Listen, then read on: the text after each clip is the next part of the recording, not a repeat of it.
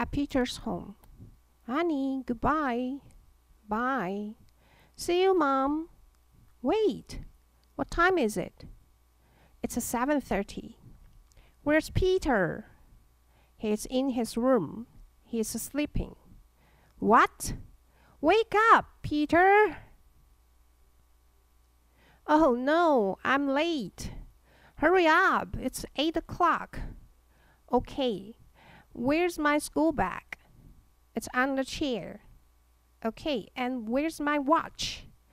Isn't it in your pocket? No, it's not. Oh, it's under my school bag. Peter, your breakfast. Thanks, Mom. Bye. Where are my shoes? King Kong. Good morning. This is Heidi Chen from New York. King Kong is not in the cage. Where is he? People are looking for him. Look! King Kong is standing on the tall building now, and the woman is with him. Listen, he's shouting. Oh no! King Kong and the woman are falling down. Are they okay? Let's find out.